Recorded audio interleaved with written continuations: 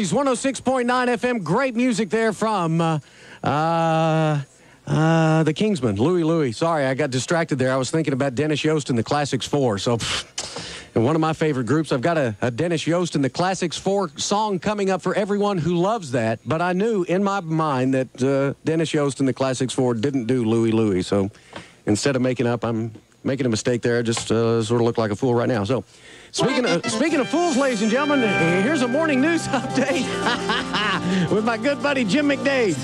Thanks a lot, Bird. 46 degrees under clear skies with increasing cloudiness expected and a high today of 75. In the news, the doors have opened at Jefferson County polling places. You have until 7 p.m. to vote here in Jefferson County. A possibly record breaking turnout of Alabama voters is anticipated in this presidential election.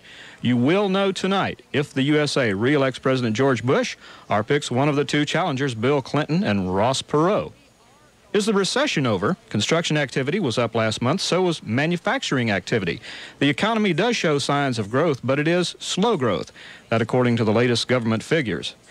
Basketball superstar Magic Johnson has retired again. Johnson originally retired after he learned that he was infected with the AIDS causing HIV virus. Magic was preparing for a comeback with the Los Angeles Lakers basketball team, but he cites controversy about his comeback as the reason for his latest decision.